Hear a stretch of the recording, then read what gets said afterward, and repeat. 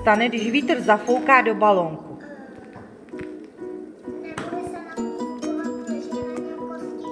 Aha. Tak Janička to zkusí.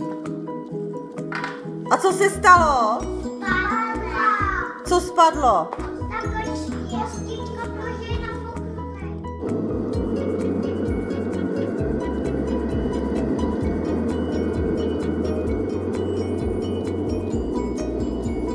Teda Justínka, ta fouká, ten vítr za chvíli tu zahradu uklidí.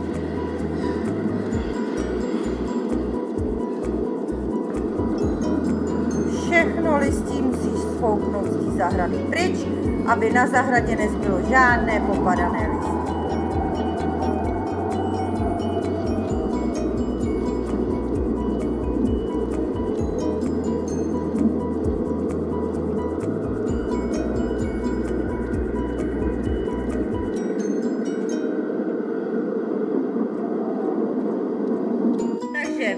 Vítr foukne do lupínka teď.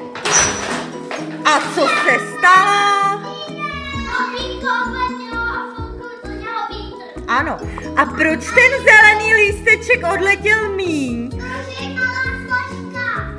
A, vzduchu. aha. A který to lupínko odletělo dál? A proč odletělo dál? Aha, protože bylo velká flaška a hodně